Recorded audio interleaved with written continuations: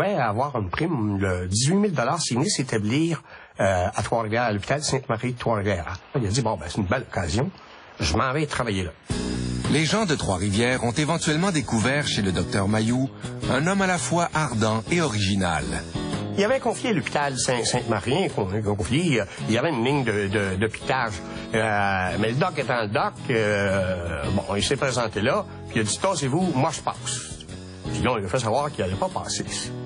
Alors, euh, a tout simplement foncé sur, la barrière et, sur quelques grévistes. D'ailleurs, euh, on raconte qu'il en a touché quelques-uns sans, sans, les, sans les blesser.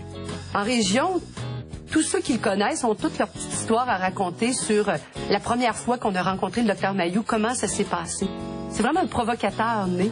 Vous savez, il n'y a, pas un incident près. Il s'est déjà présenté à l'hôpital Sainte-Marie, au même hôpital, à cheval.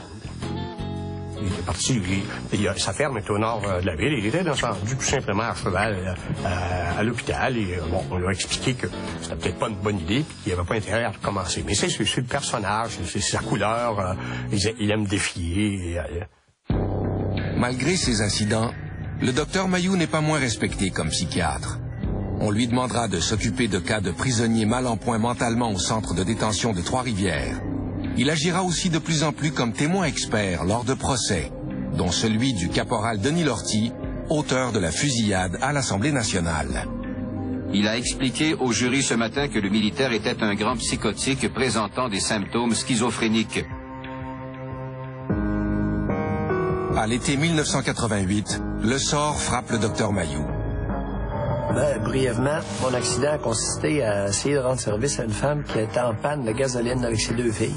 Alors, je suis allé chercher, avec mon camion et le trailer à chevaux, un gallon de gasoline. Et c'est en versant de la gasoline dans le réservoir de l'auto que quelqu'un nous a foncé dedans. Et à 50 000 à l'heure, supposément, il nous aurait pas vu. Un gars de 33 ans. Et elle a eu le temps de prendre ses deux filles et de les tirer avec elle dans le fossé, tandis que moi, j'avais le dos tourné, je l'ai pas vu. Puis il m'a arraché une jambe entre les deux bumpers. C'était, euh, je suis tombé, j'ai été euh, réchappé de peine et de misère parce que la jambe a été arrachée à partir du genou. Quand il est revenu à Sainte-Marie, évidemment, il était handicapé, il était limité. Et euh, il s'est dit, bon, je reprends ma pratique, mais, euh, mais à, temps, à temps réduit. Et l'hôpital a exigé que, que non, non, non, non, c'est, à plein temps, ou bien on, te, on te congédie. Et on l'a congédié. Et là, il a mené une guerre médiatique, mais sans bon sens, contre l'hôpital. En Mauricie, à l'époque, l'affaire fait du remous. Une centaine de patients du docteur Mayou manifestent même devant l'hôpital Sainte-Marie, réclamant son retour. Mais euh, finalement, ça s'est rendu à, la Commission des droits de la personne. Mais le doc Mayou, euh, bon, ils sont arrivés à la Commission des droits de la personne, ils avaient un dossier, euh, mais, son dossier médiatique qui était assez épais, ils, lui ont présenté ça. Et finalement, il n'a pas gagné. Il gagne pas toujours, le doc Mayou. Il gagne pas tous ses combats, vous savez. Et celui-là, il a perdu. Et c'est à ce moment-là qu'il a pris la pratique médicale à l'hôpital de Louisville, une pratique à temps partiel, qu'il a toujours d'ailleurs. Très tôt, le docteur Mayou s'est fait le promoteur du Ritalin, administré aux enfants hyperactifs. Même si l'augmentation est fulgurante depuis quelques années, c'est pas nécessairement un signe que c'est mal prescrit. Cependant... Dès départ, il était probablement un des premiers psychiatres à recommander euh, le Ritalin, à une époque où le Ritalin était moins, était euh, moins, moins répandu qu'il ne l'est aujourd'hui. Le docteur Mayou propose aussi la castration physique pour les prédateurs sexuels. Les pédophiles, qui demandent à être castrés, on devrait leur accéder à leur désir. Le docteur Mayou semble aussi avoir été un précurseur dans le traitement de cas lourds de schizophrénie en augmentant de façon spectaculaire les doses de neuroleptiques prescrites aux malades. Très jeune, il a prononcé beaucoup de conférences euh, sur le sur le sujet. Euh, il s'est même rendu à l'Institut de, euh, de, psychiatrie Clark de Toronto, alors qu'il était le deuxième francophone seulement à, se présenter, a été invité à, l'Institut. Et il avait tenu une conférence sur, le sujet. Et ça m'a même été la meilleure instance qu'il avait jamais obtenue à, l'Institut. En 1991, le docteur Mayou essuyait une première remontrance du Collège des médecins qui l'enjoignait de mettre fin à cette pratique. Alors, il a toujours défendu cette position-là, et il se trouve que beaucoup de psychiatres aujourd'hui euh, partagent son point de vue euh, là-dessus. Mais euh, c'est dans des, des cas de, de schizophrénie seulement. Ces prises de position tranchées font qu'au fil du temps, les médias s'intéressent de plus en plus au docteur Mayou. Passer dans les médias, je pense que ça le fait triper.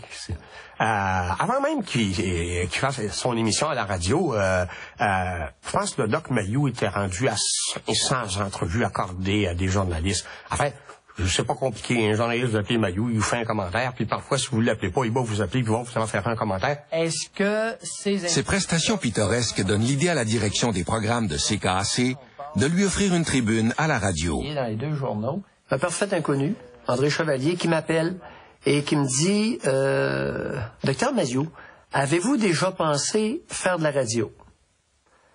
Je lui ai répondu non.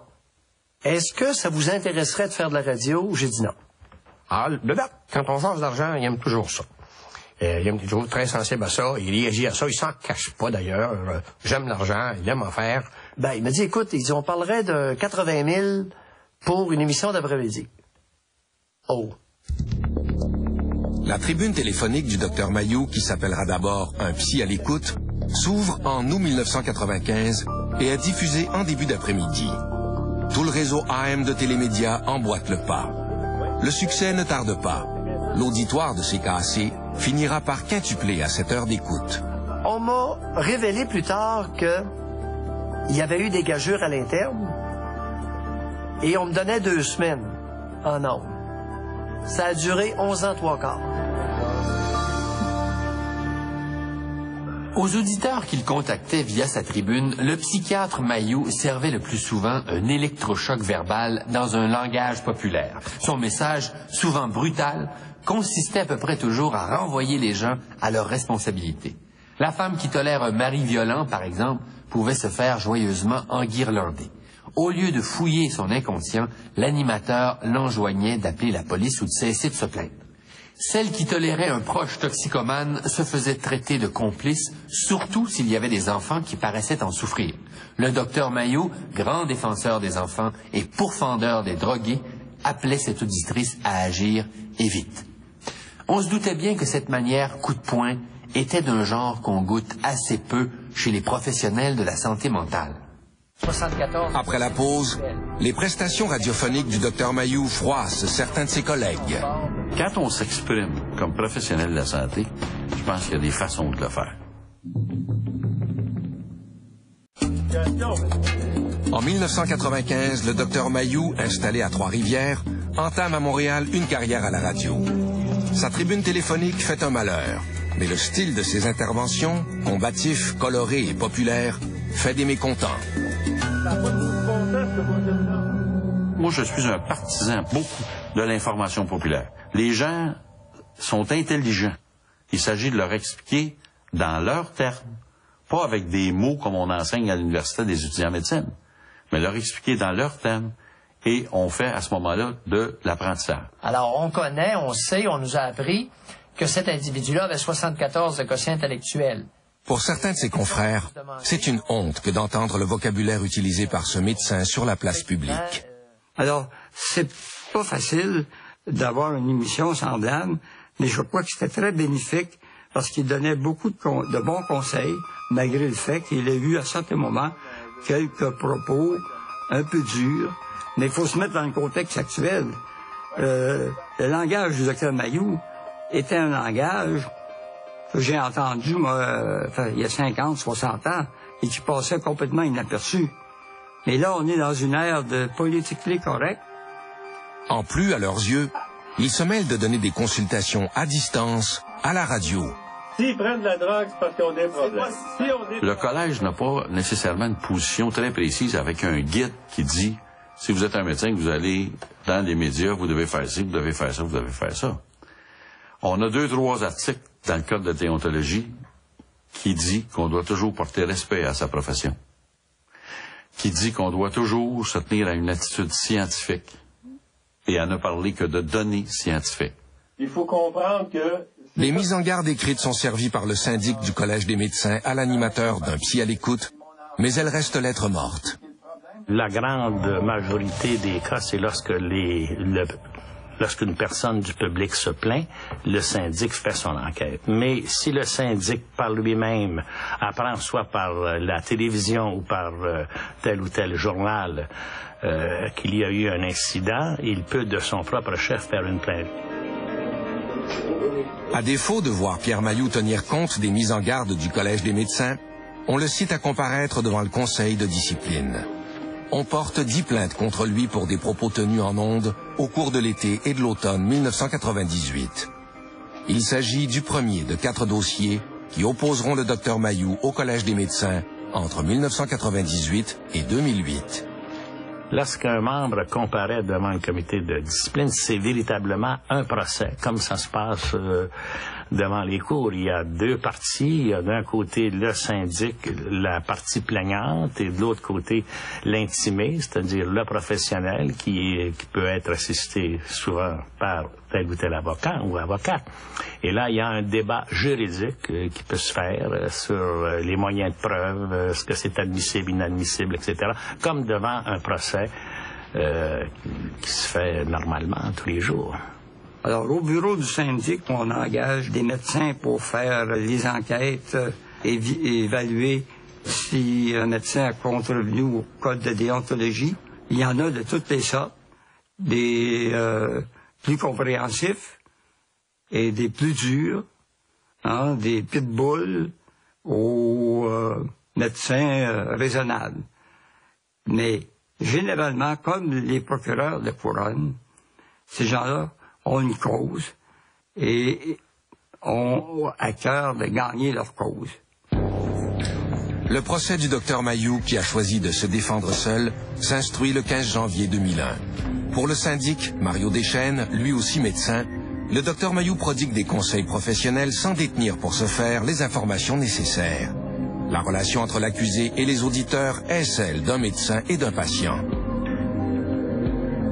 Dans les plaintes à l'étude, le docteur Mayou qualifie les toxicomanes de pourriture humaine, de gorilles, de déchets. Je vous dirais que le, le médecin, comme toute personne, bien sûr, a la liberté d'expression. Mais quand on s'exprime comme professionnel de la santé, je pense qu'il y a des façons de le faire. Être poli avec l'auditeur, tout comme on doit être poli avec nos patients. Se baser sur des données scientifiques, parce que la médecine, c'est basé sur des données scientifiques. C'est fort possible et c'est humain puis normal que des ordres professionnels euh, veulent protéger leur image. Le conseil d'administration, etc., le président, le directeur général, chaque ordre professionnel veut protéger son image pour montrer bon qu'ils font bien leur boulot, etc., etc. Mais il ne faut pas oublier que le syndic, où chaque ordre doit nommer un, un syndic, qui s'occupe justement de, faire des enquêtes et de porter des plaintes quand c'est voulu, quand c'est fondé, ce syndic est complètement indépendant et du directeur général, et du président, et du conseil d'administration de l'ordre. Il suffit d'avoir assisté à une de ces audiences devant le comité de discipline pour constater que le docteur Mayou n'est pas plus facile de maniement en cours que sur les ondes. Contrôlant et tatillon, le personnage qui se défendait lui-même apparaissait des plus singuliers. On n'allait pas en disposer facilement, ni le réformer. Durant les audiences disciplinaires, on peut dire que on s'ennuie pas avec le docteur Mayou. Euh, on sait que c'est un personnage qui est quand même très coloré, très bouillant. Euh, la moindre petite chose, il se lève, il fait des, euh, des objections parce que c'est lui-même qui se défend. Donc, euh, même s'il connaît pas nécessairement, euh, même s'il n'est pas un avocat, euh, il se laisse pas impressionner, si on peut dire, par euh, le système judiciaire. Le doc, ça ne tiendra pas. Il n'y a pas une expression qui va le rebuter, qui va l'empêcher de dire ce qu'il a à dire. Puis euh, je pense qu'il y a le sens de la couleur de toute évidence. Pierre Mailloux a coutume de dire que s'il a une allure marginale, il n'est pas un psychiatre marginal. Il se vante même d'être un excellent psychiatre. La question dans cette affaire était, le psy le plus célèbre au Québec faisait-il réellement du tort? Pouvait-on démontrer, témoin à l'appui, qu'il avait nui à des personnes en chair et en esprit, et pas seulement à l'épiderme de certains collègues? Au procès du docteur Mayou devant ses pairs du conseil de discipline, certains de ses confrères viennent appuyer l'opinion du syndic du Collège des médecins. Le docteur Marquis Fortin est l'un d'eux. Médecin universitaire, il a des réserves quant à la façon de faire du docteur Mayou.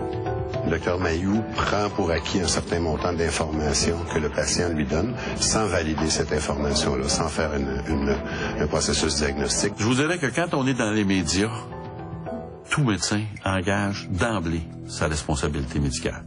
On attendait de savoir comment et à qui le psychiatre avait nuit. Était-ce purement théorique?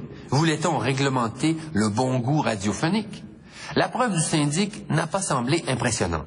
Une experte, par exemple, était venue le descendre en flammes. Pourtant, elle a précisé n'avoir écouté en tout qu'une heure et quart de son émission, en plus de certains extraits incriminés. Était-on devant un règlement de compte ou une affaire déontologique sérieuse? Après la pause, le docteur Mayou passe à la télé et ne se fait pas que des amis. Faut dire que le doc tenait des propos assez particuliers. Bon, il commentait les performances des lofters, mais aussi celles des parents. Alors là, il y a eu de, belles prises de bec. Durant des années, le docteur Pierre Mayou se taille un franc succès à la radio, non sans irriter certains de ses confrères par ses propos à l'emporte-pièce. Le comité de discipline du Collège des médecins finit par lui faire un procès trois ans après son entrée en onde. Au bout du compte, le comité de discipline du Collège des médecins déclare le psychiatre Pierre Mailloux coupable de cinq des dix chefs d'accusation portés contre lui. Il aurait fait des diagnostics et tenu des propos indignes de médecins dans le cadre de son émission. On n'a pas retenu les accusations de propos diffamatoires. Hey, dix chefs d'accusation, cinq où je suis acquitté, dont trois des plus importants, des plus graves. Euh, j'ai de quoi être satisfait, semble-t-il. Il paraît que ça n'arrive pas souvent devant le Collège des médecins. La première plainte s'est soldée par une radiation de sept jours et une amende d'une dizaine de mille dollars. La radiation de ces jours concernait ma déclaration à la radio sur l'épival. J'avais dit que l'épival n'était pas un antidépresseur et qu'il y avait beaucoup de psychiatres qui jouaient avec au Québec. La première partie aurait passé, mais de dire ouvertement à la radio que beaucoup de psychiatres jouaient avec l'épival au Québec en psychiatrie, ça ne passait pas. Et ça, ça donne que j'avais raison. Mais j'aurais pas dû le dire. La facture de 10 000 dollars, l'animateur d'un psy à l'écoute va la refiler à ses employeurs au moment de la signature d'un nouveau contrat.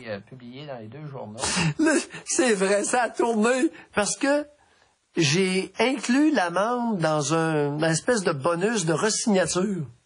Alors, ils l'ont. Ils voulaient pas le payer, mais ils l'ont payé. Parce qu'à un moment donné, quand est venu le temps de signer un contrat, je lui ai dit, euh, ça prend tant de boni à la signature du contrat. Il, sait. Puis je, me suis octroyé un petit 10 000 aussi, en passant, là. Fait que 10 000 pour euh, me rembourser, puis un petit 10 000 pour le trouble. Pierre Mayou, à cette époque, publie deux livres l'un sur la fessée et l'autre sur la castration volontaire. À l'automne 2003, le docteur Mayou fait un saut pour le moins remarqué à la télévision. On le retrouve au talk show hebdomadaire de l'émission de télé-réalité Loft Story, où les parents d'une lofteuse, réagissant mal à ses propos qu'ils jugent diffamatoires, font même parvenir une mise en demeure au diffuseur quand il est arrivé à Love Story euh, dimanche soir, je pense que ça, a relancé euh, l'audience de Love Story euh, à un niveau qui n'avait jamais été atteint. Il faut dire que le doc tenait des propos assez particuliers. Bon, il commentait les performances des lofters, mais aussi celles des parents. Alors là, il y a eu de, belles prises de bec et des, grandes indignations en, ondes. J'aimerais qu'au Québec, la majorité des parents soient des parents compétents. Malheureusement, je crains que ce ne soit pas le cas. Le docteur Yves Lamontagne, président du Collège des médecins, et son confrère Brian Bexton, président de l'Association des médecins psychiatres du Québec, font parvenir une lettre commune aux médias. Ils dénoncent les opinions médicales à l'emporte-pièce du docteur Mayou à Loft Story qu'on ait une apparence, une, des apparitions publiques, je suis tout à fait pour ça. Mais dans quoi vous vous impliquez publiquement? Je me vois très mal aller euh, faire une apparition à la poule aux œufs d'or. Voyez-vous?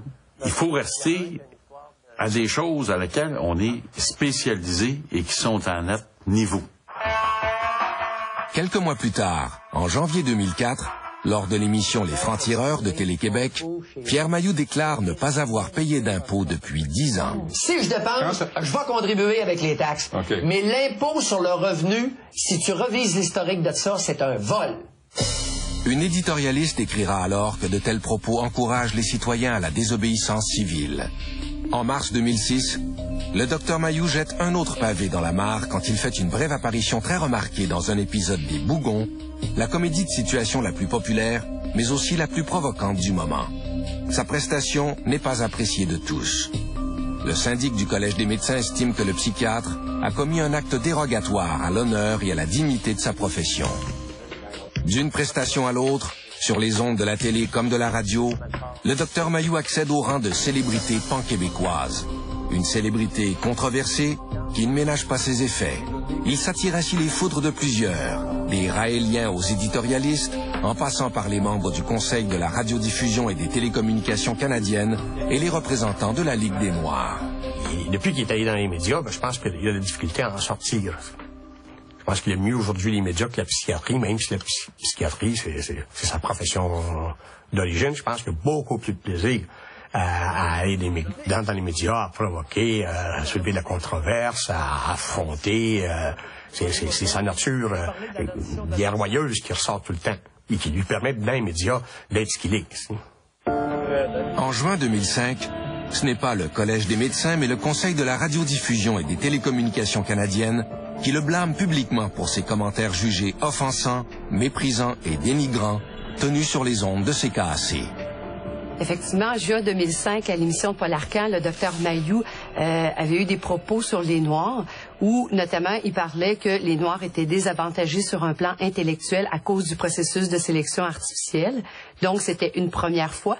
Et une deuxième fois, euh, en faisant référence euh, au, à Michael Jackson et Janet Jackson, surtout à l'épisode du sein qui avait été dévoilé au Super Bowl, il avait déclaré une phrase comme Il se croit encore dans une tribu en Afrique. Ces opinions, relayées par la décision du CRTC, n'allaient pas échapper aux recherchistes de la fameuse émission Tout le monde en parle. Quelques semaines plus tard, en septembre 2005, on se fait fort d'inviter le docteur Mayou chez Guillaume Lepage. Celui-ci ne manque pas d'entraîner son invité sur le terrain miné de ses opinions sur les Afro-Américains. Après la pause, le Collège des médecins sévit à nouveau contre le docteur Mayou. Cette fois-ci, c'est sa pratique médicale qui, euh, qui est attaquée.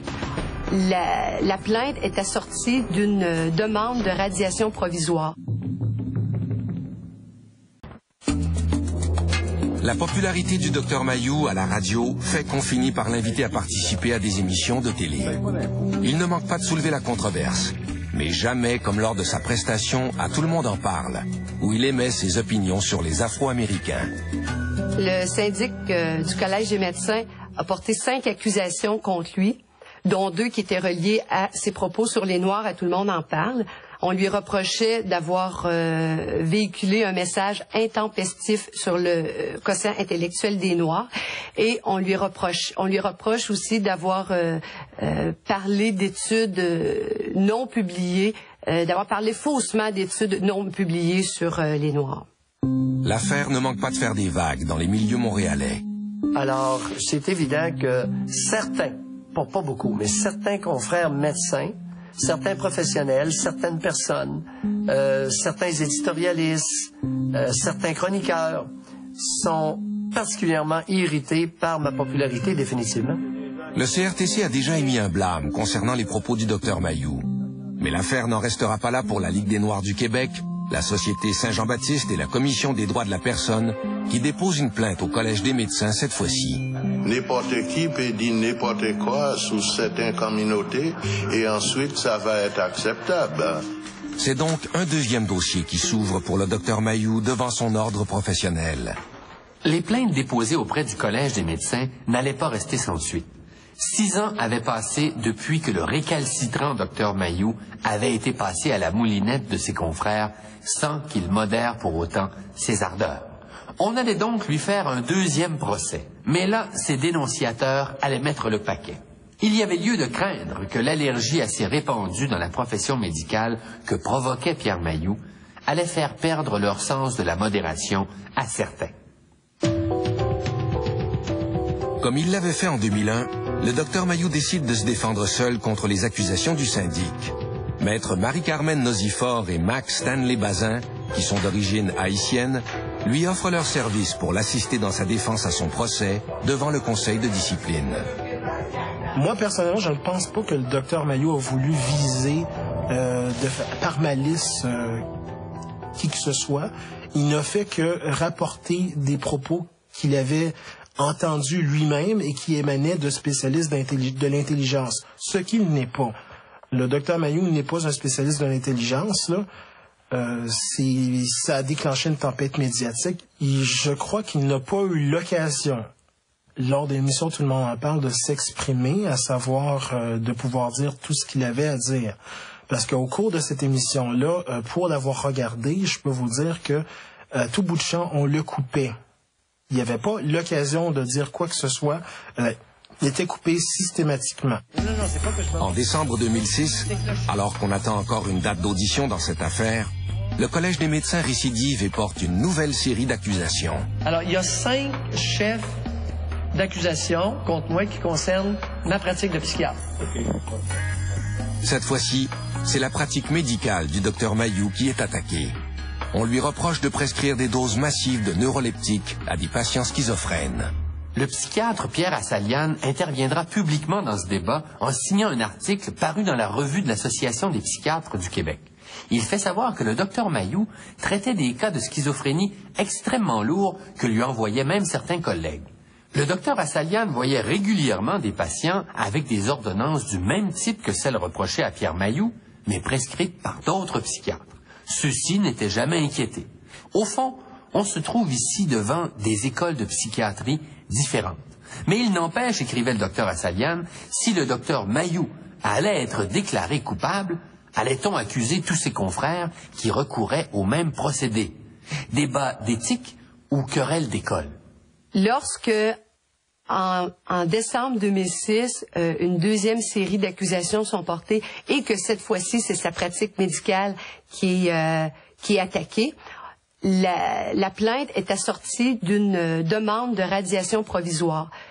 Il s'agit d'une mesure exceptionnelle visant à radier le doc Mayou, donc l'empêcher de pratiquer avant même qu'un procès soit tenu. C'est vraiment une mesure d'urgence exceptionnelle qui est demandée en même temps que la plainte. La radiation provisoire n'est pas, à mon sens, une mesure exceptionnelle.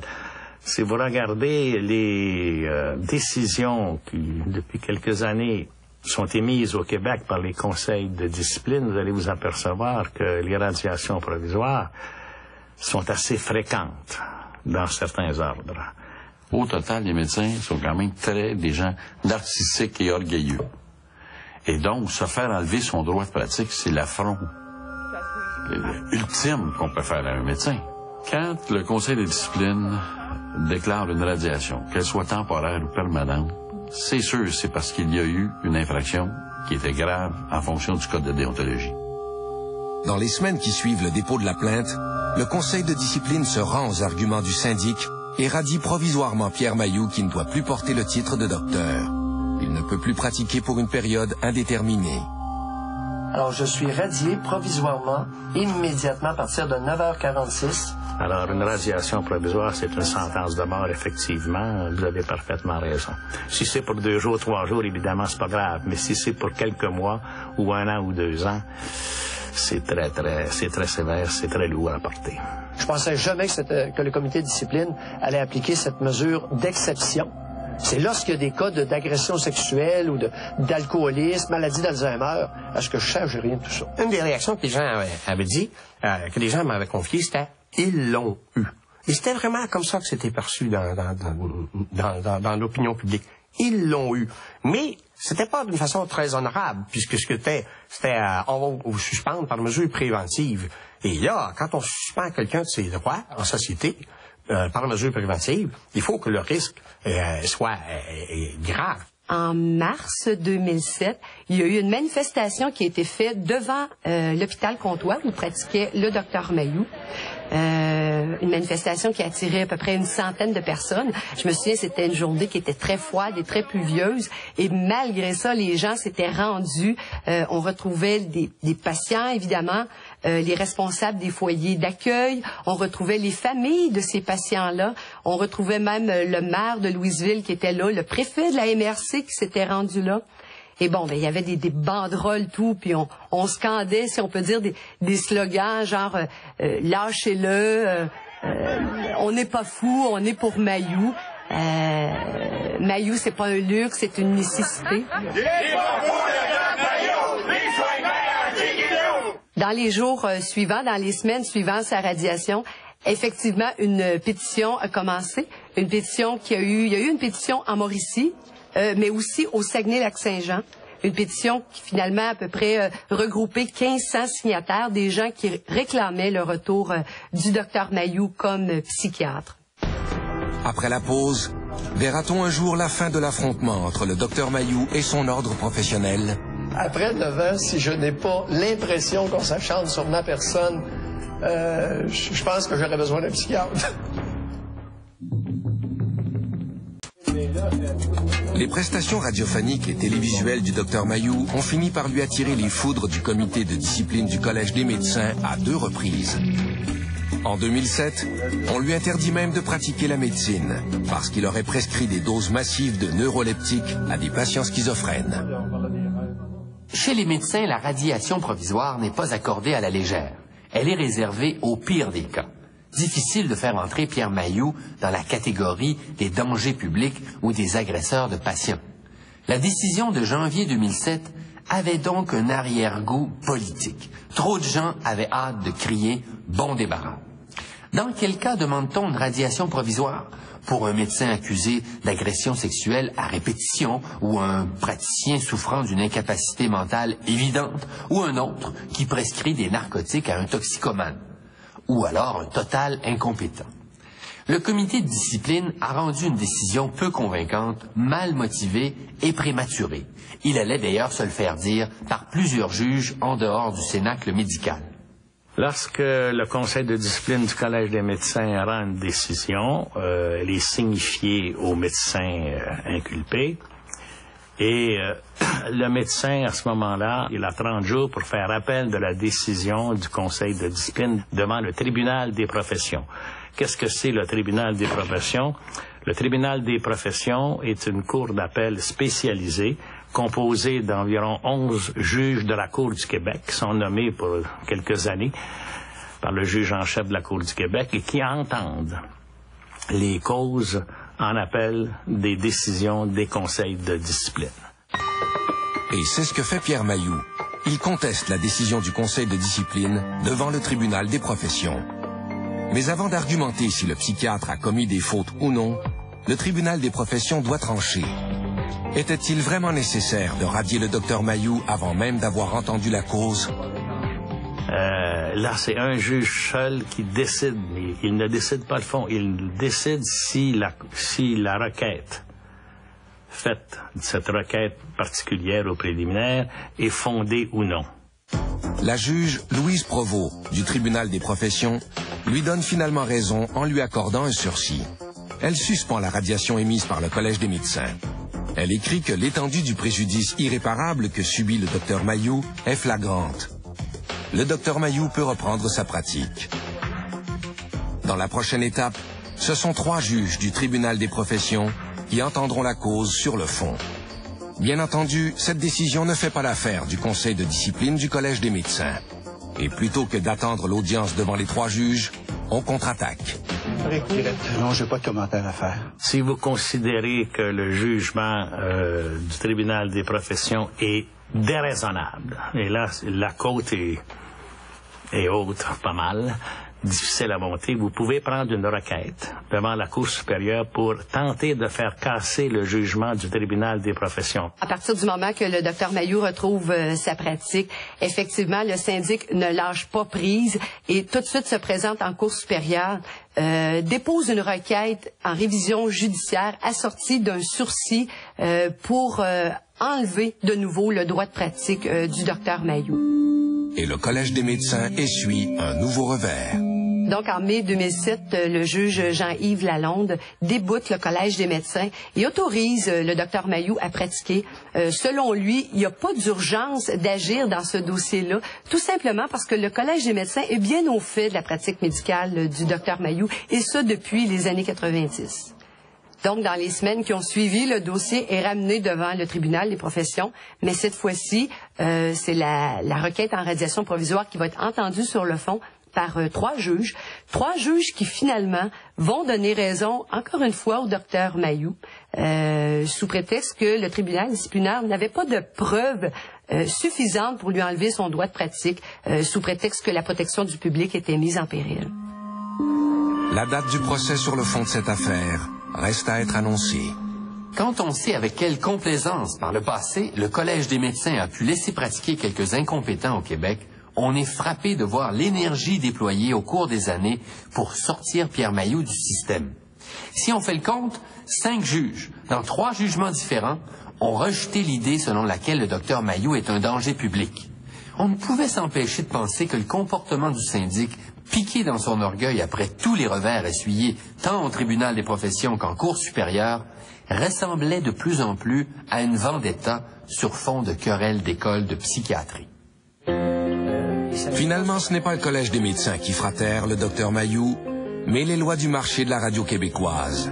CKAC et tout le réseau AM de télémédias au cours de l'année 2007 changent de vocation. On passe d'une radio d'intérêt général à une radio consacrée au sport. Exit le docteur Mayou. Mais cela n'empêche pas le Collège des médecins de poursuivre sa démarche par rapport au docteur Mayou en déposant une quatrième série de plaintes en février 2008.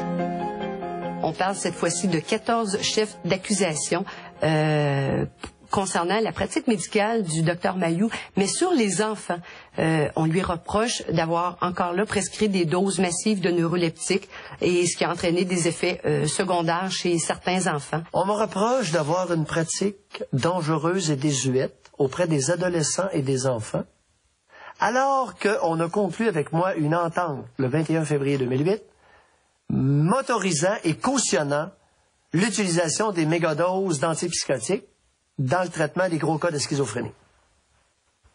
Ah, ça se résume à ça.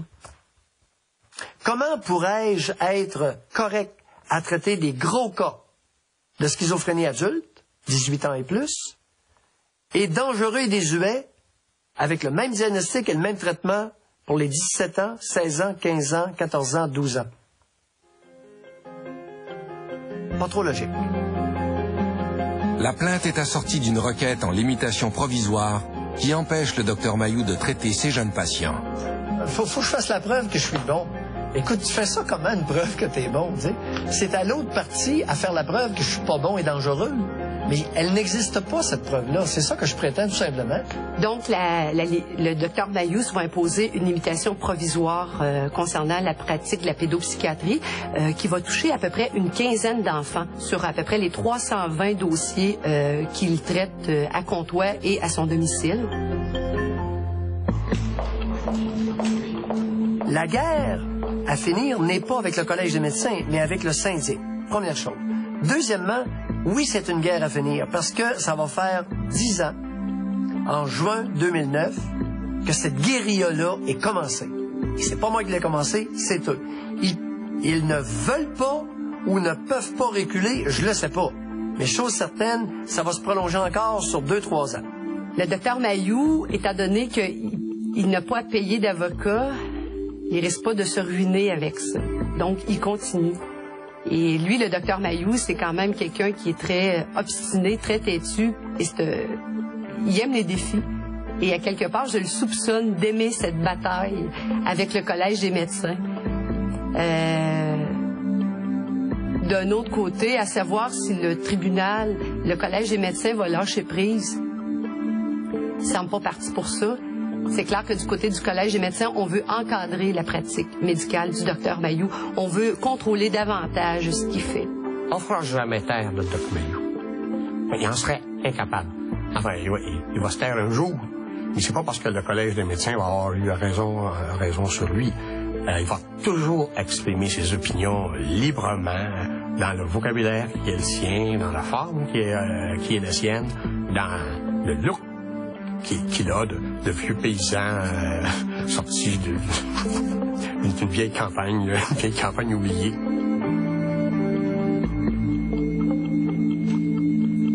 Tant le syndic du Collège des médecins que le docteur Mayou paraissent peu disposés au compromis. On sait que le psychiatre n'est pas sans reproche. Mais s'il n'avait pas commis ces excès radiophoniques, est-ce que le syndic aurait scruté aussi sévèrement sa pratique médicale? Y aurait-on consacré autant de ressources comme s'il était un des cas les plus graves au Québec? Quoi qu'il advienne des causes du docteur Mayou, elle soulève la question.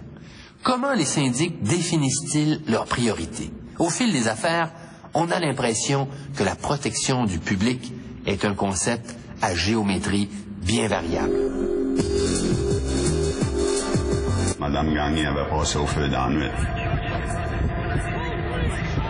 Marco Aldar m'impliquait là-dedans. J'ai rien fait à cette femme-là, moi. Rescapé de la justice, dans un instant, à Canal D.